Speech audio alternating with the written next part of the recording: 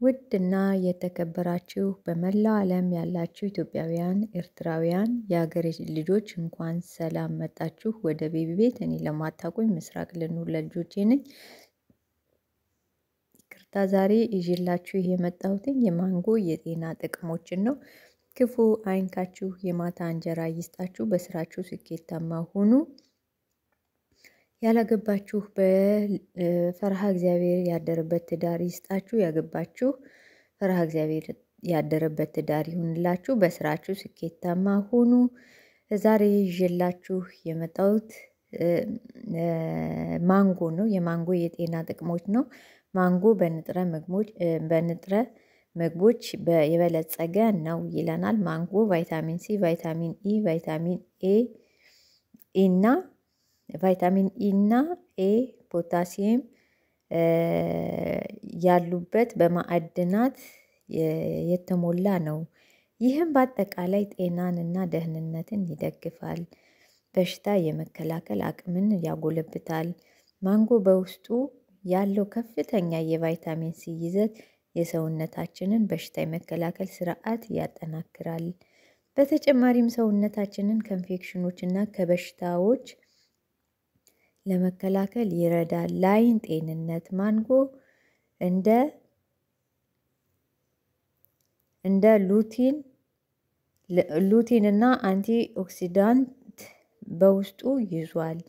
ይህም የዓይን ጤናን ያበረታታል። እንዲሁም ከእድሜ ጋር ተያያዥ ያለውን macular degeneration እና የዓይን ሞራ ግርዶሽን እንዳይከሰት ይከላከላል። ለምግብ መፍጨት ጤና ማንጎ በምግብ ፋይበር የበለጸገ ሲሆን ይህም የምግብ መፍጨት ሂደትን ይረዳል። የሆድ ድርቀትን ይከላከላል። እንዲሁም ጤናማ የምግብ መፍጨትን ስርዓትን ያበረታታል። ለልብ ጤና በማንጎ ውስጥ የሚገኙት ፋይበር፣ ፖታሲየም እና antioxidant ኮሌስትሮልን መጠን በመቀነስ ለልብ ህመም ተጋላጭነታችንን በመቀነስ እና ጤናማ የደም ግፊት መጠንን በመደገፍ ለልብ ጤና አስተዋጽኦ ያደርጋሉ። ለቆዳ ጤና በማንጎ ውስጥ የሚገኙ ቫይታሚን ኤ እና ቫይታሚን ሲ ለማምረት የእርጅና ምልክቶችን ለመቀነስ እና የቆዳ የመለጠጥ ችሎታን በማጎልበት ጤናማ ቆዳን እንድንጎናጸፍ የአልኮል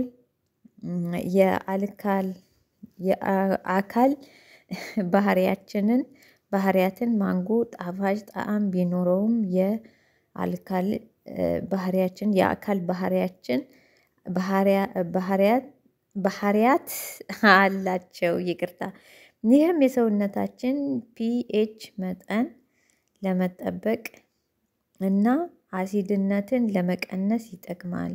ለአጥንት ጤና ማንጎ ለአጥንት ጤና አስፈላጊ የሆነውን ቫይታሚን ኬ በውስጡ ይዟል። እንዲሁም እንዲሁም በሽታን ይከላከላል። ክብደት ለመቆጣጠር ይረዳል። ማንጎ በተፈጥሮ ጣፋጭ ቢሆንም በአንጸባራዊነቱ የካሎሪ እና የስብ ይዘቱ ዝቅተኛ በመሆኑ የሰውነት ክብደታችንን መቀነስ ለሚፈልጉ ሰዎች አጥጋቢ እና ገንቢ የሆነ መክሰስ ያደርገዋል። ለመክሰስ ያው ያደርጉታል ለማለት ነው። ይቅርታ ሁለገብነት ማንጎ ትኩሱን በጭማቂ መልክ በሰላጣ ውስጥ ቆራርጦ በመጨመር ወይንም ጥሩ ጣዕም ባለው ጣፋጭ ምግቦች ውስጥ ማስተካከል በማካተት ያጣጥሙት ሲያጣጥሙት በማካተት ያጣጥሙታል። ይቅርታ ዛሬ አይኔ እያገረደኝ ነው። በጣም ይቅርታ። ልኑር ለልጆቼ በጣም እንትን ተበላሽታለች።